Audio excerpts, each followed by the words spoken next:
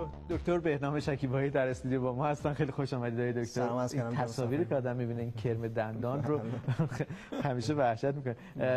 یه جور در واقع خاطره کودکی ماست که در واقع کرم دندونتون می‌خوره در صورتی که توی گزارش قبلی دیدیم که ظاهرا باکتری ها هستن که فرایند اسیدی کردن در واقع محوطه دندان رو ایجاد می‌کنن. خیلی خوش آمدید به چرخ امشب دکتر. اگر در آغاز صحبتی با تماشاگران داریم بفرمایید. بله متشکرم جناب سفاریان پور خیلی خوشبختم. از آشنایی شما و دعوت, دعوت شما به برنامه چرخ در خدمتون هستم. آقای دکتر ما روزی میشه که از دست شما پزشکان و جراحان دندان پزشک راحت بشیم حالا فعلا چشم انداز آرزوی شما زیاد جالب نیست. به این خیال پردازانه ببینیم. پرینترهای سه‌بعدی در ابتدای برنامه امشب دیدیم که لاله گوش رو ساختن. آیا میشه در واقع ترتیب دندانهای انسان هم اسکن بشه؟ در زمانهایی که ضروری هستش با کمک سلولهای بنیادی ساخته بشه. آیا این یه خیال پردازیه؟ در حال حاضر این تصور فعلا خیال پردازیه یعنی در سطح experimental هست داره روش تحقیقات انجام میشه. من یادم میاد زمانی که من تحصیلات دندان پزشکی توی آلمان انجام می‌دادم حدود 15 سال پیش پیش بینی می‌کردن که با کمک گرفتن از تکنولوژی سلولای بنیادی ما حدودا تا 10 سال دیگه با تکنیک های جدیدی می‌تونیم بسیار ساده بافت از دست رفته فک رو و دندان های از دست رفته رو بازسازی کنیم با هزینه به مراتب پایینتر. ولی اینجوری که امروز شاهدش هستیم متاسفانه هنوز این داستان محقق نشده و هنوز محققین در کل دنیا دنبال این اکتشافات هستن و چشم اندازشون برای 20 سال آینده است.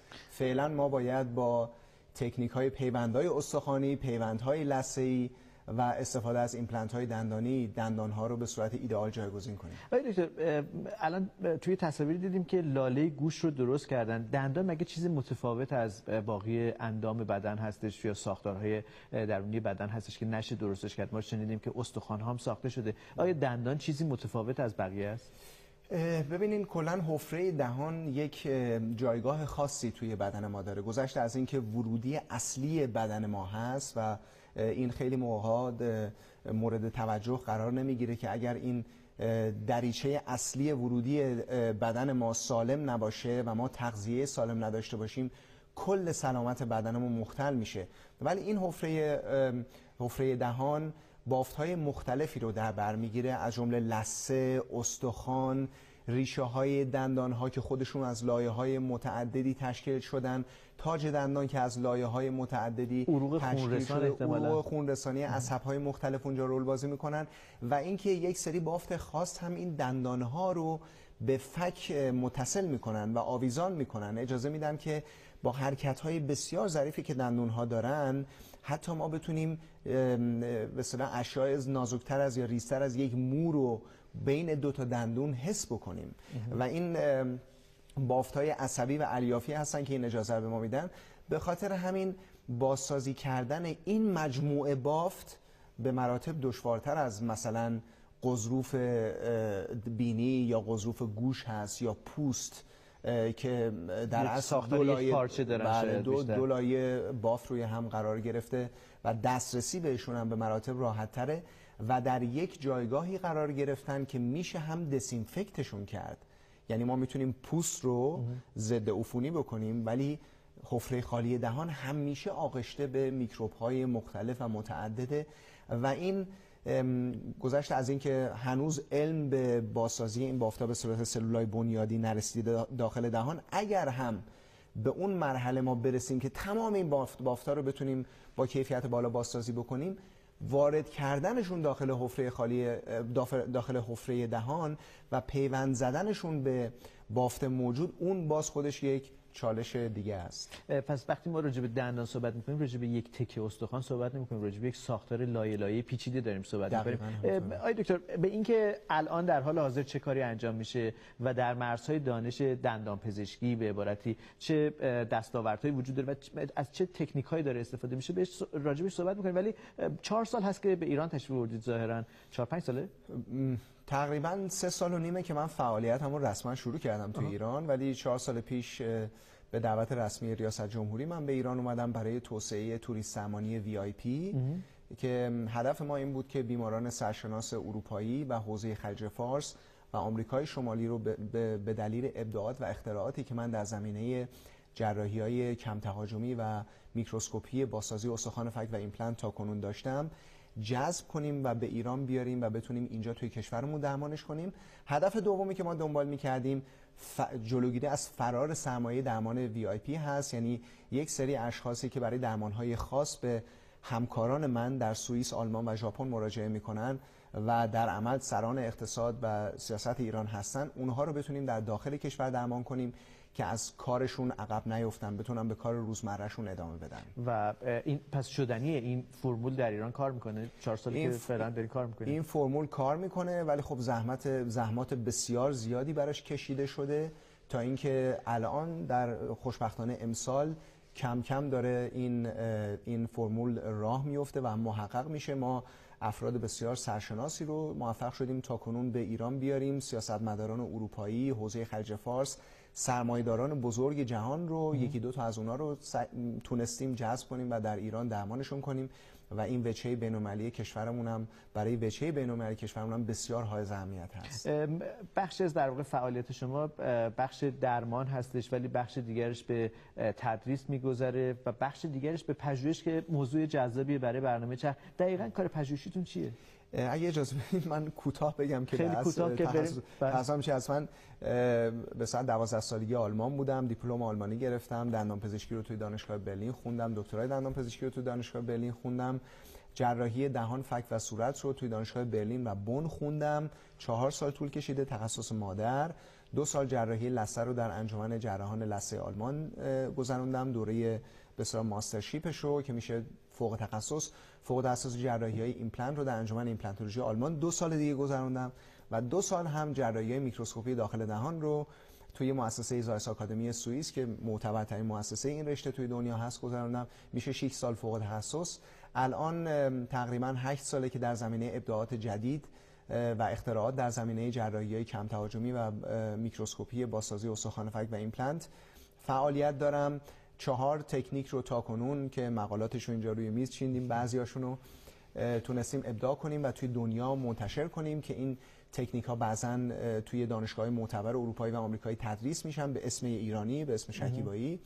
ابزارالات این تکنیک ها هم ساخت دست خودم هست که یک شرکت معتبر آلمانی تولید می‌کنه و الان سه ساله که رسما توی دنیا این ابزارالات جراحی میکروسکوپی ایمپلنت به اسم شکیبایی فروش میرن. و تدریس میشن اینم خیلی مهمه. فعالیت فعلی من سه مثلا سه پایه داره.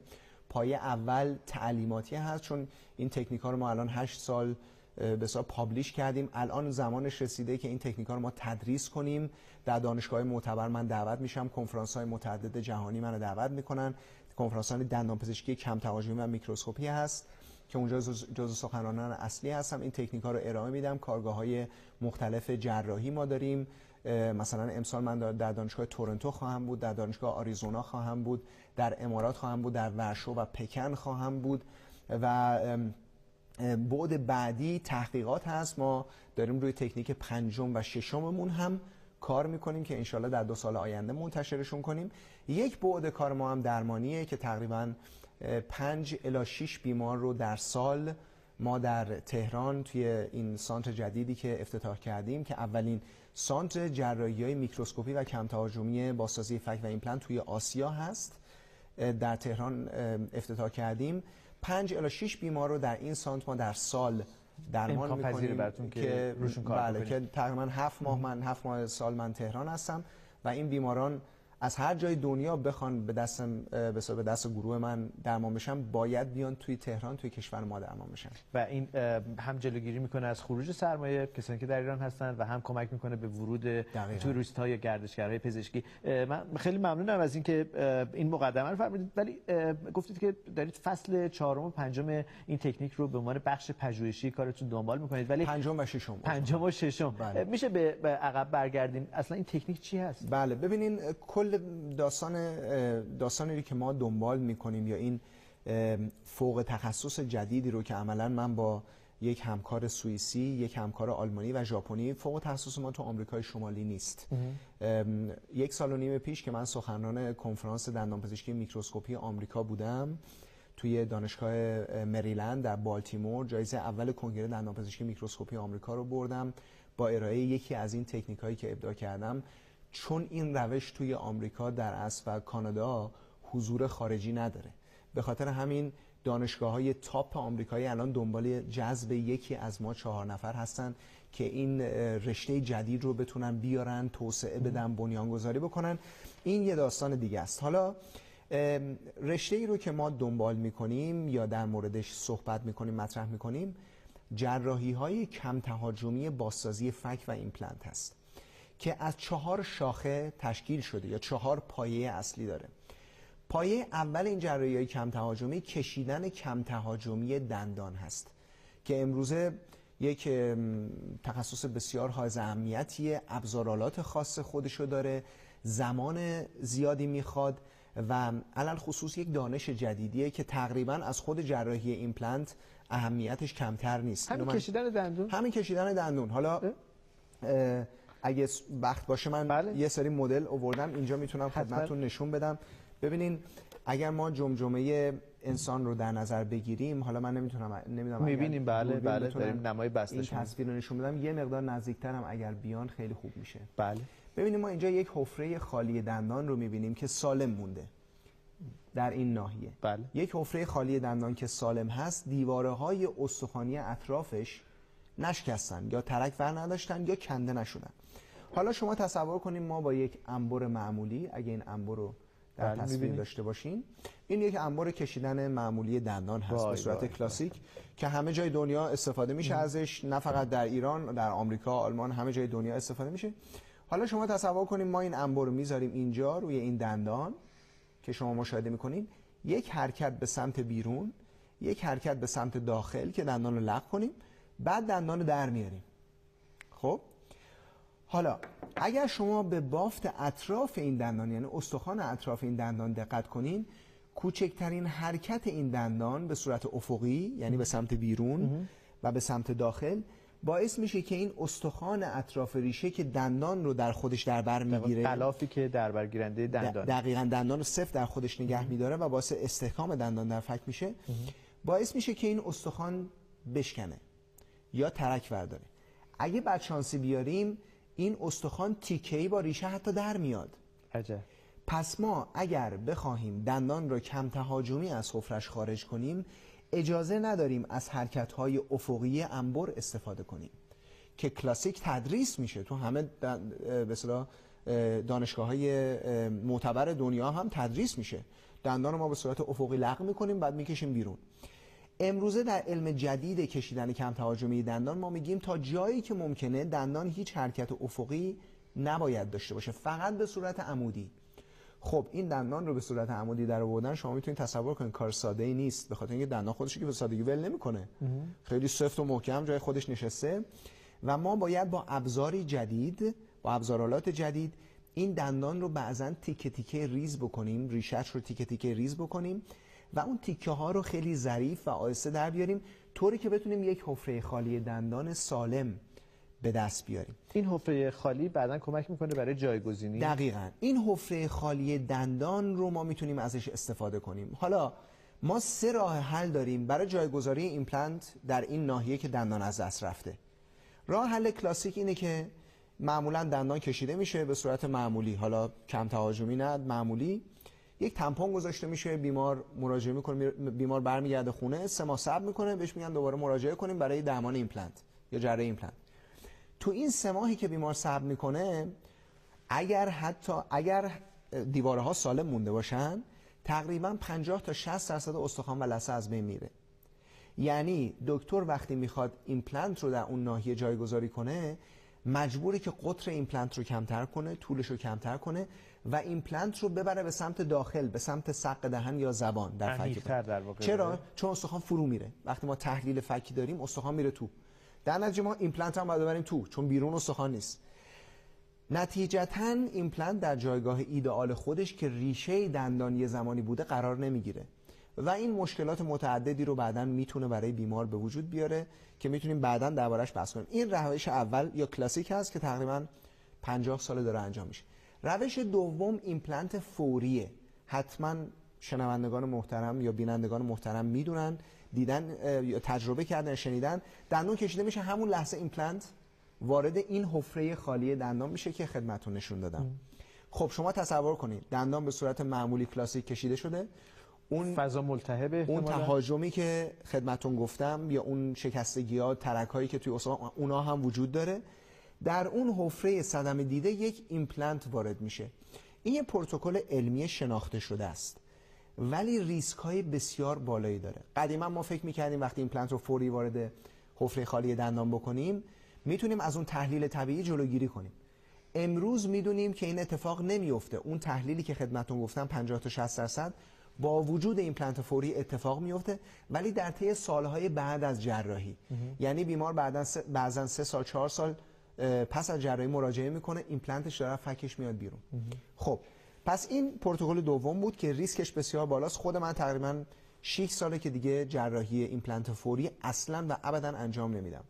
روش سوم که علمی ترین بهترین و پر زمان برترین و پرهزینه ترین روش هم هست این تکنیکی که ما publish ش کردیم کردیم یعنی منتشرش کردیم و دو سه چندین گروه دیگه هم توی دنیا دارن روی این تکنیک کار می‌کنن. اونها هم منتشرش کردن.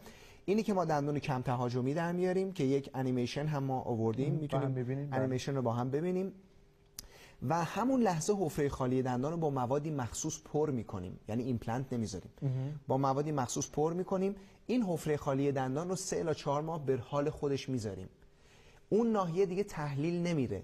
مثل مورد اول که خدمتون گفتم. فرم طبیعی خودش رو حفظ می‌کنه. فرم خود خود geometry سبودی خودش رو حفظ می‌کنه و بعد از برگشت بیمار پس از 3 الی 4 ماه ما می‌تونیم یک ایمپلنت ایدئال با زاویه ایدئال ابعاد ایدئال در ناحیه ایدئال برای بیمار باز اینم روش خود شماست این, این هم در این زمینه بله. من در این زمینه من دو تکنیک منتشر کردم که یکی از این تکنیک ها جایزه اول جراحان لثه آلمان رو برده. بسیار خوب. با هم فیلم رو ببینیم و روی فیلم بیشتر آقای دکتر توضیح میدن که این بله. روشی که زیرسازی یا حفظ در واقع ساختمان دندان یا در واقع لثه هستش رو چطور اتفاق میفته و چطور انجام میدن اگر دوستانم فیلم رو نمایش بدن. خب اینجا داریم آقای دکتر فکر کنم می‌بینیم که بله. به موضوع اول البته این فیلم تقریبا سه دقیقه فکر کنم طولش هست. بله. موضوع اول کشیدن کم تهاجمی دندانی که اینجا مشاهده می‌کنید دندان بیاد. فقط به صورت عمودی در میاد. اگر ما این کار رو انجام بدیم حالا ما وارد حفره خالی دندان میشیم که اینجا می‌بینین لایه استخوانی رو می‌بینیم و لثه روی لایه استخوانی قرار گرفته. این همین حفره خالی دندانی که من خدمتتون نشونم روی مدل. خب در حالت معمولی اگر شانس بیاریم و این دیواره ها نشکنن حدود 3 دقیقه الی 4 دقیقه طول می‌کشه این حفره با خون پر میشه. این خون در از 35 دقیقه 30 الی 40 دقیقه کاملا لخته میشه. این لخته بیس بازسازی اون ناحیه با بافت جدیده. ولی چه اتفاقی میفته در طول دو الی سه ماه که خدمتتون گفتم؟ این روند تحلیلی هست که اینجا مشاهده می‌کنید. دیدین؟ استخوان و لثه عقب رفت. عقب رفت بله. عقب رفت و این همون روند تحلیلیه که 40 الی 60 درصد حجم استخوان و لثه ما رو از بین می‌بره. حالا ممکنه یه بیمار مراجعه کنه بگه آقا من اصلا ایمپلنت نمی‌خوام. به دلایل مختلفی. من مثلا یک پل می‌خوام نمی‌خوام جراحی ایمپلنت بشم. این تحلیل خودش رو زیر پل خیلی خوب نشون میده. بعد از یک مدت بافت, می‌کنه بافت زیر پل یا بریج نشست می‌کنه و استخوان لثه عقب میره. مشکلات زیادی این یکی از تصویر یکی از بیماران تحقیقاتی ما هست. اگه زیر تصویر مشاهده کنین نوشته دکتر شکیبایی تهران ایران. یکی از بیمارانیه که ما با این تکنیک جدید می‌خواستیم براشون کار کنیم ولی گفتن نه من نمی‌خوام. و بعدا تحلیل استخوان زیر پل براشون اتفاق افتاد. و اینجا ایمپلنت رو داریم می‌بینیم بله اینجا این ایمپلنت رو می‌بینیم. تو اون ناحیه تحلیل رفته این ایمپلنت قرار گرفته. مشکلی که ما اینجا داریم اینه که ما بافت کم داریم. درست تو اون ناحیه بیرونی می‌بینین ایمپلنت از استخون اومده بیرون. مثل این تصویری که اینجا می‌بینین که از دکتر اسکولیان هست در برن سوئیس که گروه دوم هست.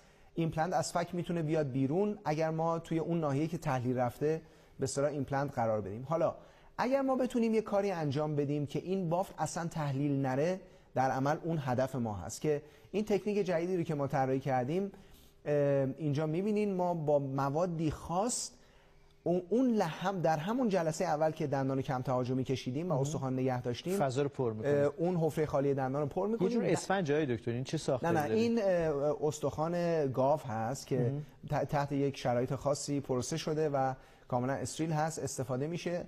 البته یک برند خاص هست که تحقیقاتمون رو ما با این برند خاص انجام دادیم. بعضا دیواره های حفره خالی دندان به خاطر عفونت های قبلی که دندون داشته به یه دلیل دندون کشیده میشه بله. دیگه.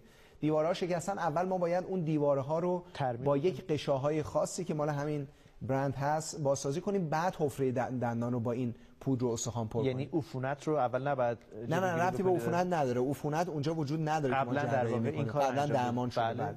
خب اینجا تو این تصویر دیدین که این استخوانی که ما اونجا وارد فک بیمار می‌کنیم در طی یک روند یک ساله تبدیل به استخوان خود بیمار میشه یعنی دیگه از اون پودر استخوان گاف چیزی باقی نمونده جایگزین میشه و ما می‌تونیم از این مشکلات به اصطلاح تحلیل باف پس از کشیدن دندان که اینجا می‌بینین جلوگیری کنیم که به اصطلاح بدون کنترل بعد از کشیدن دندان اتفاق میفته از بیرون آمدن ایمپلنت از فک بیمار که اینجا توی این تصویر می‌بینین از این مشکلات هم می‌تونیم جلوگیری کنیم و در عمل هدفی که ما دنبال می‌کنیم جایگزین کردن دندان توسط یک ایمپلنتی است که به اندازه کافی بافت اطراف خودش داره. هم از نظر استخوان هم از نظر لثه و این یک کار ماندگاری میشه برای بیمار و زیبایی بسیار ویژه‌ای داره که در اصل با روش های دو روش اولی که من خدمتتون توضیح دادم به سختی قابل انجام هست. به نظر در ظاهر روش روش خیلی ساده ایه چطور به فکر کسی دیگه نرسیده بوده؟ والا این روش در اصل یک روش یک روشی هست که تقریبا 20 سال 25 سال این ایده وجود داره. ولی خب خیلی دنبال نشده. یعنی پروتکلش به صورت علمی که بیان آمار بیمارها رو بگیرن در مقایسه مستقیم مثلا سمت چپ فک بیمار در شرایط یکسان بیان دندان رو در بیارن زیر میکروسکوپ حفره خالی دندان رو چک کنن که سالمه سمت راست همین کار رو بکنن.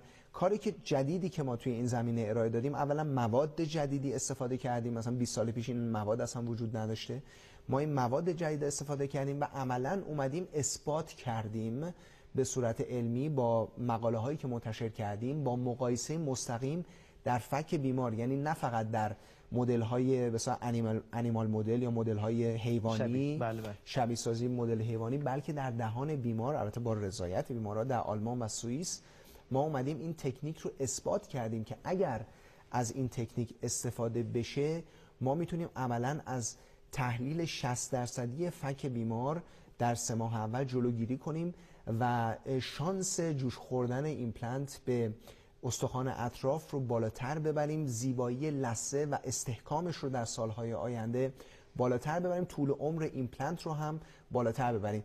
این آمارها باعث شده که الان تازه این رشته توی دنیا جون بگیره که این به تکنیک رو من اه، ماه آینده توی کنفرانس جهانی دندانپزشکی کم تهاجمی همین تکنیک رو من ارائه, ارائه خواهم کرد. البته یک موضوع هم می‌خواستم اینجا بهش اشاره کنم که این تکنیک رو من اولین بار 6 سال پیش در ایران در کنگره جراحان فک و صورت ایران و جراحان لثه ایران ارائه کردم. پس از اون تا, تا کنون من بیش از هفتاد سخنرانی در کنگره های بین‌المللی ایران داشتم کشور خودمون داشتم. ولی هنوز متاسفانه این تکنیک رو نتونستیم توی ایران جا بندازیم. چرا؟ گرونه؟ بله دلیل اصلیش هزینهشه و البته خیلی کار می‌بره چون شما اشاره کردید که خود در واقع خارج کردن دندان از بله. محفظه برای اینکه این محفظه اه، غلاف در واقع دندان سالم باقی بمونه دقیقاً. خودش زمانبر هستش نیاز به ابزار و ادوات احتمالاً تکنیکی مثل میکروسکوپ الکترونیکی داره بله. و خیلی به این راحتی نیست که شما در واقع به شیوه کلاسیک و معمول در واقع بخواید دندان خارج بکنید خب روش سختی هستش و قاعدتا شاید پذیرش عمومی با توجه به هزینه بالایی که ایجاد می‌کنه. بالاخره برای دندانپزشک هم دردسر زمانی زیاد داره. اه، عین کار مینیاتور میمونه به عبارتی. همینطوره. ببینین در عمل آموخ- آموزش این تکنیک آموختن این تکنیک زیاد دشوار نیست. چون ما این کار رو داریم توی اروپا و آمریکا شمالی انجام میدیم. طی تقریبا چهار الی پنج کورس اه، مثلا دو ماهه یا سه ماهه دندان پزشکان می‌تونن این تکنیک رو یاد بگیرن. مشکلی که ما داریم اینه که در عمل یک کانسپته. یعنی چی؟ یعنی دندانپزشک اگه به سمت این تکنیک های کم تهاجمی بیاد دیگه نمی‌تونه روزی هشت تا بیمار رو درمان کنه. چون کشیدن کم تهاجمی دندان به جای در مقایسه با تکنیک معمولی کشیدن کلاسیک دندان ده برابر زمان می‌بره. اگر شما برای کشیدن معمولی شاید سه دقیقه وقت لازم داشته باشین برای این تکنیک شاید نیم ساعت 45 دقیقه وقت بزنین.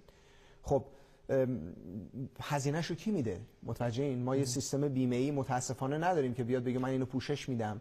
در عمل بیمار باید این هزینه رو پرداخت کنه. البته در عوض بنفیت و به اصطلاح ماندگاری ماندگاری و محاسن بسیار بله. بزرگی برای بیمار داره. یه سری مواد هم باید برای این تکنیک استفاده بشه که اون مواد هم قیمت خودشونو دارن. ما این مواد رو نمی‌تونیم برای 6 نفر استفاده کنیم. در عمل باید برای یک بیمار باز بشه برای یک بیمار باید استفاده بشه. باز این هزینه اون درمان رو بالاتر می‌بره. ولی اگر ما دید دراز مدت داشته باشیم این در عمل اون دید دراز مدت هست که این تکنیک رو داره توی کشورهای پیشرفته که ما تدریس می‌کنیم و تعلیمات میدیم کورسای ما همه پره. دلیلش چیه؟ دلیلش اینه که دندان پزشکایی که میان توی این کورس ها این تکنیک های کم تهاجمی یاد بگیرن می‌تونن اون بسا چشمانداز دراز مدت رو به بیمارشون انتقال بدن و بیمار رو توجیه کنن که اگر ما این درمان های کم تهاجمی رو براتون استفاده کنیم شما در دراز مدت بهره می‌برین و ریسک بسیار کمتری دارین زیبایی به مراتب بالاتری دارین و درد و مشکلات به مراتب کمتر وقتی بیمار توجیه بشه میگه خب من حاضرم که سرمایه گذاری بیشتری بکنم از این. تکنیک بهره برداری کنم اینو ما اول باید بتونیم توی ایران توی کشور خودمون انتقال بدیم به بیمار که بعد بیمار درخواست بکنه من این این تکنولوژی جدید رو می‌خوام. اون موقع دندان پزشک اتوماتیک دنبال این این بسیار روش میاد. روش میادش و شما اشاره کردید که در این روش شما وارد مرحله پنجم شدید و ششم و هفتم رو در پیش دارید. بله. اونها در واقع فرق خیلی اساسی خواهند داشت با روش موجود؟ اونها اصلا تکنیک های دیگه هستن. تکنیک های دیگه هستن. و اشکال در واقع این سیستم چیه؟ شما بهتر از هر کسی می‌تونید احتمالاً اشکال سیستمی که ایجاد شده رو بررسی بکنید. ریسک هایی که می‌تونه داشته باشه چیه این اه، ببینین این جراحی در عمل ریسکی نداره میشه گفت. چون بیمارها گفتم خدمتون ریسک عفونتشون ریسک تورمشون ریسک خونریزی بعد از جراحیشون ریسک داشتن درد کبودی به مراتب پس از این جراحی پایین روند ترمیم بافت پس از کشیدن دندان در حالت معمولی که دندون اونجوری پرتهاجمی کشیده میشه و بیمار در عمل بیهس هیچی هم متوجه نمیشه. حتی اگر تیکه هایی از استخوان فکش به ریشه با ریشه دندون جدا بشه و فک بیاد بیرون بیمار هیچی متوجه نمیشه. چون بیهسه ولی بعدش که بیهسی میره بیمار واقعا مشکل داره. ما بیماران داریم پس از کشیدن دندان یک هفته دو هفته بعضا یک ماه درد دارن مشکل دارن نمی‌تونن اون ناحیه غذا بجون اه، یا مثلا مدت ها تورم دارن حس خوبی ندارن. این مسائل به مراتب با این تکنیک کمتره. ولی خب تنها مشکلی که این تکنیک داره زمان زیادیه که ما براش باید بذاریم. البته بیمار درد نداره. مثلا برای یک دندان ما تقریبا باید یک ساعت زمان بذاریم و اون مواد رو استفاده کنیم. بیمار به هیچ وجه زیر این جراحی درد نداره. ولی زمان بیشتری این درمان می‌بره و خب طبیعتاً که هزینه‌ش هزینه. هم. در عمل اگر این دوتا دیس ادوانتج رو ما بیاریم بیرون بیمار فقط محاسن داره با استفاده از این, از این تکنیک. برگردیم به ماده‌ای که داخل حفره دندان وارد میشه حفره خالی دندان که باعث میشه که فرم لثه و فرم در واقع اون ساختمان باقی بمونه. این ماده در واقع اشاره کردید که بعدا در پیوند با سلول سازی که اتفاق میفته سلول سازی استخوانی که اتفاق میفته جایگزین ماده اولیه خودش میشه. اه، این چقدر طول می‌کشه این فرایند؟ ببینید این فرایند بین 6 ماه تا یک سال و نیم طول می‌کشه. به خاطر اینکه این حسن این ماده که ما استفاده می‌کنیم ببینید ما موادای مواد بسیار زیادی داریم. شاید بی- بیش از 200 نوع مواد مختلف برای بازسازی استخوان فک داشته باشیم. این ماده که دیر جایگزین میشه با استخوان فک و حسن بزرگش هم همینه که اجازه میده به سلولای به استخوان خود بیمار که بتونن بیان و اون فضا رو پر کنن و طی 6 ماه تا یک سال و نیم اون به اصطلاح مواد رو کاملا جایگزین کنن. خیلی سپاسگزارم از شما جناب آقای دکتر بهنام شکیبایی و آنچه که دیدید نگاهی بودش به بخشی از مرزهای دانش در حوزه جراحی دندان پزشکی جراحی دندان و بحث ایمپلنت که خیلی موضوع رایج این روزها هستش و البته که در دنیای دانش ظاهرا تکنیک ها و روش های جدیدی نو به نو اضافه میشه و خیلی خوشحالیم که یک متخصص ایرانی در این حوزه فعالیت می‌کنه. فردا شب فصل دیگری از این مجموعه تلویزیونی رو نظاره‌گر باشید روز و روزگار بر شما خوش.